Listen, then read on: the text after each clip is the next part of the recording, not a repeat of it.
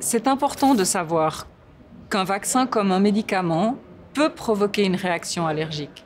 Dans l'immense majorité des cas, elle est tout à fait bénigne.